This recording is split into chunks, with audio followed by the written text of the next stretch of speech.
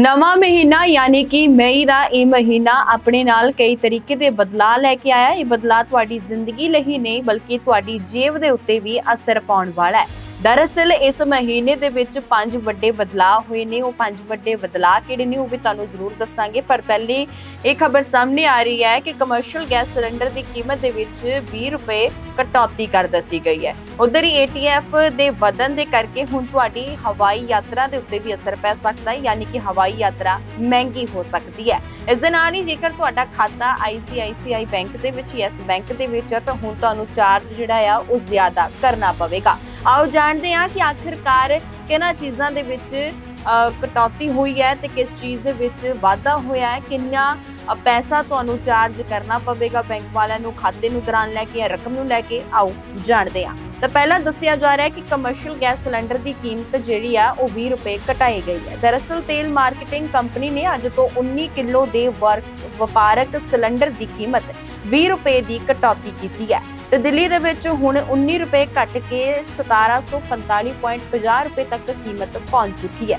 ਇਸ ਦੇ ਨਾਲ ਹੀ ਦੂਸਰਾ ਹੈ ਕਿ ICICI ਨੇ ਬਚਤ ਖਾਤੇ ਨਾਲ ਸੰਬੰਧਿਤ ਨਿਯਮਾਂ ਨੂੰ ਬਦਲ ਦਿੱਤਾ ਹੈ। ਦਰਅਸਲ ICICI ਬੈਂਕ ਨੇ ਬਚਤ ਖਾਤੇ ਦੇ ਡੈਬਿਟ ਕਾਰਡ ਨਾਲ ਜੁੜੇ ਨਿਯਮਾਂ ਵਿੱਚ ਬਦਲਾਅ ਕੀਤਾ ਹੈ। ਹੁਣ ਪਿੰਡੂ ਖੇਤਰਾਂ ਵਿੱਚ ਗਾਹਕਾਂ ਨੂੰ ਡੈਬਿਟ ਕਾਰਡ ਲਈ 99 ਰੁਪਏ ਅਤੇ ਸ਼ਹਿਰੀ ਖੇਤਰਾਂ ਵਿੱਚ 200 ਰੁਪਏ ਸਾਲਾਨਾ ਫੀਸ ਦੇਣੀ ਪਵੇਗੀ। ਇਸ ਦੇ ਨਾਲ ਹੀ 25 ਪੰਨਿਆਂ ਦੀ ਚੈੱਕ ਬੁੱਕ ਲਈ ਕੋਈ ਫੀਸ ਨਹੀਂ ਦੇਣੀ ਪਵੇਗੀ, ਪਰ ਇਸ ਤੋਂ ਬਾਅਦ ਚੈੱਕ ਬੁੱਕ ਦੇ ਹਰੇਕ ਪੰਨੇ ਲਈ 4 ਰੁਪਏ ਦਾ ਚਾਰਜ ਕਰਨਾ ਦੇ, ਕਰਨਾ ਪਵੇਗਾ। ਉਧਰ ਹੀ IMPS ਟ੍ਰਾਂਜੈਕਸ਼ਨ ਰਕਮ ਦਾ ਚਾਰਜ 2.5 ਰੁਪਏ ਤੋਂ 15 ਰੁਪਏ ਪ੍ਰਤੀ ਟ੍ਰਾਂਜੈਕਸ਼ਨ ਤੈਅ ਕੀਤਾ ਗਿਆ ਹੈ। ਤੀਸਰਾ ਬਦਲਾਅ ਆਇਆ ਹੈ ਕਿ ATF ਦੀ ਕੀਮਤ ਵਧੀ ਅਤੇ ਜਿਸ ਕਰਕੇ ਹੁਣ ਹਵਾਈ ਯਾਤਰਾ ਮਹਿੰਗੀ ਹੋ ਸਕਦੀ ਹੈ। ਦਰਅਸਲ ਤੇਲ ਮਾਰਕੀਟਿੰਗ ਕੰਪਨੀਆਂ ਨੇ ਮਹਾਨਗਰਾਂ 'ਚ ਐਵੀਏਸ਼ਨ ਟਰਬਾਈਨ ਫਿਊਲ ਯਾਨੀ ਕਿ ATF ਦੀਆਂ ਕੀਮਤਾਂ ਵਿੱਚ ਵਾਧਾ ਕੀਤਾ ਹੈ। ਇਸ ਦੇ ਨਾਲ ਹਵਾਈ ਸਫ਼ਰ ਮਹਿੰਗਾ ਹੋ ਸਕਦਾ ਹੈ।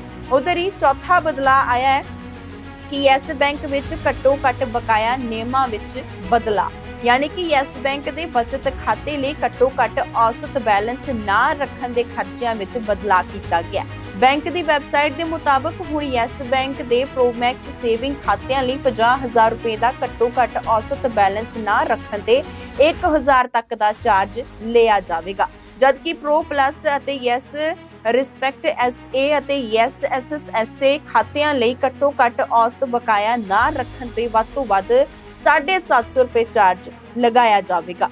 ਪੰਜਵਾਂ ਇਹ ਹੈ ਕਿ IDFC first bank credit card ਭੁਗਤਾਨਾਂ ਤੇ ਜੀਐਸਟੀ ਲਾਗੂ ਹੋਵੇਗਾ। ਦਰਅਸਲ ਆਈਡੀਐਫ ਸੀ ਫਰਸਟ ਬੈਂਕ ਨੇ ਕਿਹਾ ਕਿ ਜੇਕਰ ਯੂਟਿਲਿਟੀ ਬਿੱਲਾਂ ਦੀ ਯੂਟਿਲਿਟੀ ਬਿੱਲਾਂ ਲਈ ਕ੍ਰੈਡਿਟ ਕਾਰਡ ਭੁਗਤਾਨ ਦੀ ਕੁੱਲ ਰਕਮ 20000 ਰੁਪਏ ਤੋਂ ਵੱਧ ਹੈ, ਤਾਂ ਫਿਰ ਤੁਹਾਨੂੰ ਵਾਧੂ 1% ਪਲੱਸ ਜੀਐਸਟੀ ਲਗਾਵੇਗਾ। ਪਹਿਲਾਂ private credit card LIC classic ਅਤੇ LIC ਸਿਲੈਕਟ ਕ੍ਰੈਡਿਟ ਕਾਰਡ ਇਸ ਦਾਇਰੇ ਵਿੱਚ ਨਹੀਂ ਆਉਣਗੇ। ਇਸ ਲਈ ਜੇਕਰ ਸਟੇਟਮੈਂਟ ਚੱਕਰ ਦੇ ਅੰਦਰ ਤੁਹਾਡੇ ਯੂਟਿਲਿਟੀ ਬਿੱਲ ਲੈਣ ਦੇਣ, ਯਾਨੀ ਕਿ ਗੈਸ ਬਿਜਲੀ ਅਤੇ ਇੰਟਰਨੈਟ ਦੀ ਕੁੱਲ ਰਕਮ 20000 ਰੁਪਏ ਜਾਂ ਘੱਟ ਹੈ, ਤਾਂ ਕੋਈ ਸਰਚਾਰਜ ਨਹੀਂ ਹੈ। ਹਾਲਾਂਕਿ ਜੇਕਰ ਉਹ 20000 ਰੁਪਏ ਤੋਂ ਰਕਮ ਵੱਧ ਜਾਂਦੀ ਹੈ, ਤਾਂ ਫਿਰ ਤੁਹਾਨੂੰ 18% GST ਲੱਗੇਗਾ। ਤੇ ਮਈ ਮਹੀਨੇ ਦੇ ਵਿੱਚ ਇਹ ਪੰਜ ਬਦਲਾਅ ਹੋਏ ਨੇ ਵੱਡੇ, ਜਿਨ੍ਹਾਂ ਦੇ ਕਰਕੇ ਲੋਕਾਂ ਦੇ ਜੀਵਨ ਤੇ ਹੀ ਨਹੀਂ, ਬਲਕਿ ਜੇਬ ਦੇ ਉੱਤੇ ਵੀ ਕਾਫੀ ਜ਼ਿਆਦਾ ਪ੍ਰਭਾਵ ਪਿਆ ਤੇ ਫਿਲਹਾਲ ਇਹ